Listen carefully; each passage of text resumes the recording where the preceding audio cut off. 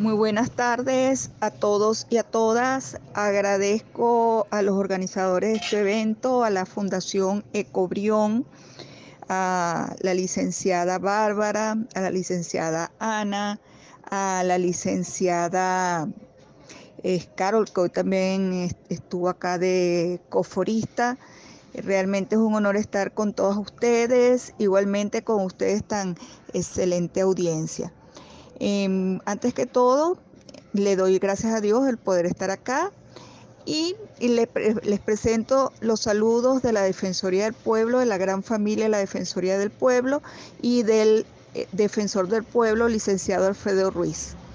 Em, aquí estamos para servirles en materia ambiental. Em, cualquier cosa que quisieran comunicarse con mi persona, 0416-611-2021. Siempre estamos a la orden.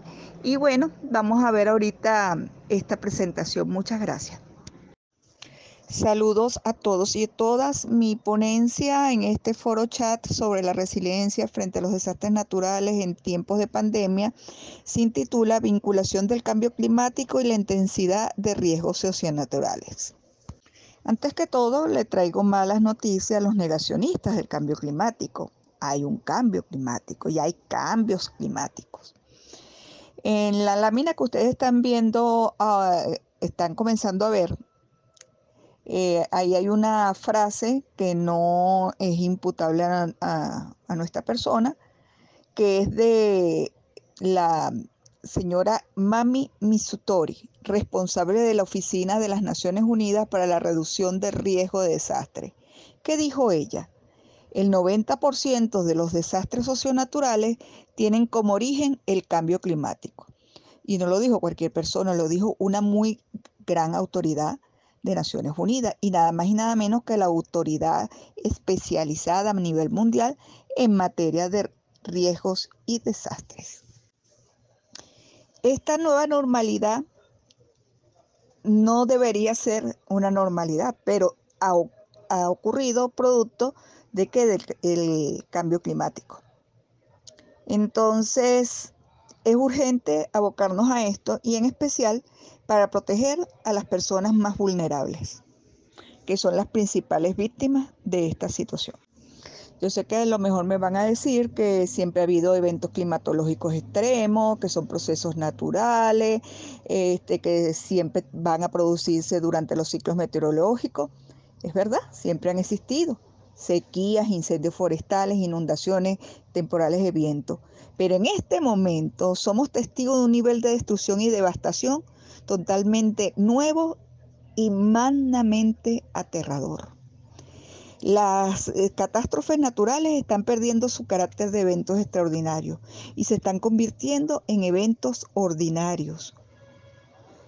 Eh, por lo menos la temporada de incendios ya no es una corta temporada, ya es una magna temporada de incendios forestales.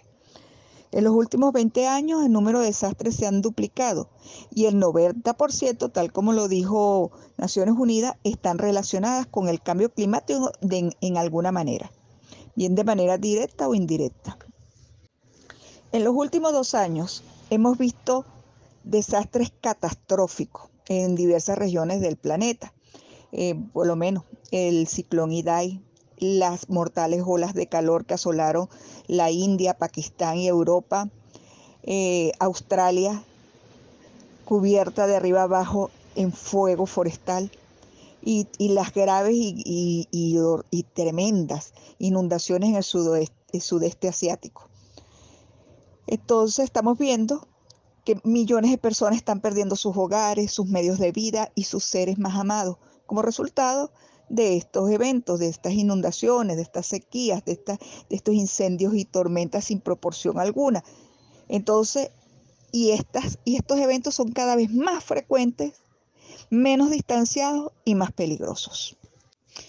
¿Y por qué estos eventos cada vez son más devastadores? Vamos a partir de, una premisa, que el cambio climático cada vez se produce, se produce más, es más grave y acreciente y agrava el riesgo de eventos meteorológicos extremos.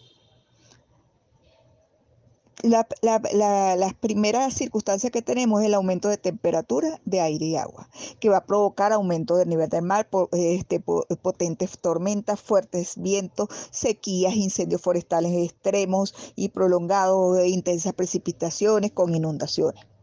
Así, si seguimos aumentando el efecto invernadero por nuestras emanaciones descontroladas, de gases de efecto invernadero, el, principal afectado va a ser el agua, el suministro de agua, del cual dependemos todos y todas. Entonces tenemos muchas actividades humanas que están incrementando esto, esta situación y este, el aumento del, del efecto invernadero no, nos va a traer, tal como lo dijimos hace rato, el aumento de temperatura. Ese aumento de temperatura ¿A dónde nos lleva? Al derretimiento de los polos, los cambios en las precipitaciones, eh, en la temperatura del agua, la salaridad o salinidad eh, incrementándose, la agitación de la circulación del océano y cambios bruscos del clima.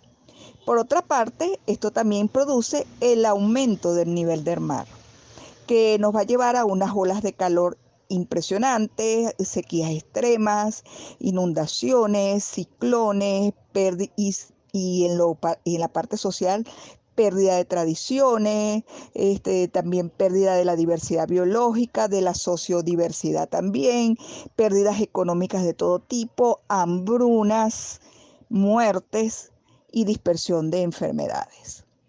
Es impresionante todo lo que algo que parece tan sencillo puede provocar. Entonces hay pruebas por demás sobrecogedoras y consecuencias devastadoras de esta situación que estamos denunciando hoy. Eh, la principal prueba es que el número de desastres relacionados con el clima se triplicaron en los últimos 30 años. Entre el 2006 y el 2016 el aumento del nivel del mar a nivel global fue de 2,5 veces más rápido que durante casi todo el siglo XX. Eso es una barbaridad. Y, anualmente más de 20 millones de personas se ven obligadas a abandonar sus hogares como consecuencia de los efectos del cambio climático. El Programa de Naciones Unidas para el Medio Ambiente, PENUMA, estima que para el año 2030 adaptarse a cambio climático y hacer frente a los daños que supondrá costará a los mal llamados países en desarrollo entre 140 mil a 300 mil millones de dólares anuales Estamos hablando de una cifra que vendría a ser impagable y donde eh, los mayormente vulnerables, que son los ciudadanos y ciudadanas, habitantes de los países más pobres o de los mal llamados países en desarrollo, van a ser las principales víctimas. Entonces el cambio climático ya no es solamente una amenaza, ya llegó, ya está aquí, lo tenemos conviviendo con nosotros. Eh, en los últimos 100 años la, temperatura de la Tierra ha aumentado bárbaramente eh, y se seguirá subiendo si no elevamos los niveles de conciencia y bajamos las cantidades de emanaciones, eh, provocando el aumento de huracanes, de inundaciones, de olas de calor.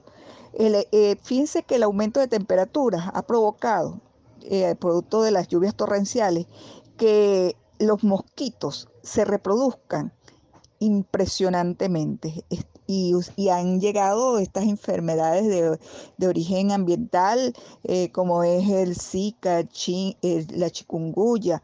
Eh, porque una de las cosas eh, increíbles que ha ocurrido, por lo menos los mosquitos y los zancudos, se han mudado ya no solamente están en, las áreas este, llanas, las áreas tropicales, sino que se, han mudado a, regiones más altas donde jamás habían males vinculados a, este tipo de fauna. Eh, y entonces hemos visto en zonas altas de distintos lugares del mundo enfermedades como la malaria. También este, muchas especies eh, se estima que el 30% de las especies actuales podrían extinguirse eh, muy prontamente y que hay más de 280 especies de plantas y animales que están migrando hacia los polos, que no tenían hogar en esa, en esa zona, no era su zona este, natural de distribución. Y, se, y ahora tenemos eh, especies, tanto de plantas y animales, diseminando los polos. Entonces, buscando clima frío para su, su supervivencia, pero eso también nos lleva a problemas de control y armonía ambiental. También las migraciones humanas debido a causas climáticas este, se han incrementado. Hay cifras que dicen que es de un 60%, otras dicen que es de un 50%, oscilan entre unas y otras. Eh, y cada vez hay más refugiados por causas ambientales y que, inclusive más eh, ha aumentado el número tan alto que se dice que superan a los desplazados por razones de guerra. En, cuanto a los huracanes, cada vez son más intensos eh, debido a ese incremento de la temperatura de los océanos. Y bueno, eh, la superficie del mar cada vez se calienta más y se, eh, intensifica la velocidad y la cantidad de la lluvia, mientras que el aumento del nivel del mar incrementa su intensidad en los litorales y la posibilidad de marejadas. Todos hemos estado sufriendo eso, inclusive Venezuela. Y Venezuela no escapa de esta circunstancia. Bastante lo ha advertido el INAME. Bueno, Em, los, e, los, eventos meteorológicos, los desastres ambientales, todos afectan a todos los países del mundo, bien ricos o pobres, pero siempre los más perjudicados por los efectos del cambio climático y de todos estos eventos van a ser los que viven en situación de pobreza y sobre todo de pobreza extrema. No obstante, e injustamente, este, ellos no ser los causantes de la problemática, porque los más pobres y las más pobres son los que menos contribuyen a, a provocar la crisis climática. Y la mayoría de estas personas se ven obligadas, compelidas a abandonar sus hogares, sumiéndose aún más en la pobreza y en el hambre. Quienes viven en los países más pobres tienen al menos cuatro veces más probabilidades de verse obligados a desplazarse a causa de los eventos meteorológicos extremos, a diferencia de los que viven en los países ricos. Es importante esa cifra. Bueno, el mundo entonces se enfrenta a una carrera contra reloj para reducir las emisiones que causan los gases de efecto invernadero y, y para ayudar a las personas en situación de mayor vulnerabilidad. Este, debemos hacer frente a esta situación. Ya no decimos que es algo utópico, ya es palpable. Y bueno, solamente nos queda la mala noticia de que van en aumento. Y entonces, ¿para cuándo tenemos que actuar? Ya, ayer, antier. Por último, le dejamos esta lámina que hay una gran devastación. Esto es una proyección gráfica de a dónde estamos yendo con toda nuestra inconsciencia. Eh, tenemos que parar esto, tenemos que este, trabajar en la mitigación del cambio climático eh, y tenemos que trabajar sobre todo elevando niveles de conciencia. Por último, este, vamos a ver una simpática lámina. En esta lámina habla de la posibilidad de la extinción del chocolate. Esto salió en un programa en televisión y yo me traje la información no tengo cómo corroborarlo científicamente, pero la tesis circunda en lo siguiente, que el cacao crece en condiciones lluviosas y de alrededor de los 20 grados centígrados. Para el año 2050 podría extinguirse el, el cacao y por supuesto no tendríamos chocolate porque por la creciente temperatura del planeta y esos 20 grados centígrados ya no existirían.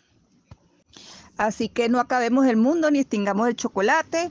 Este, muchas gracias por haberme escuchado. Traté de, en tan pocos minutos, de llevar una condensación sobre el tema que nos solicitaron exponer. Este, nuestro gran abrazo y nuestro agradecimiento a los organizadores y las organizadoras de este evento y a todos los que amablemente han tenido la gentileza de registrarse y de estar en esta comunidad que hoy nos escucha. Un gran abrazo a todos y a todas.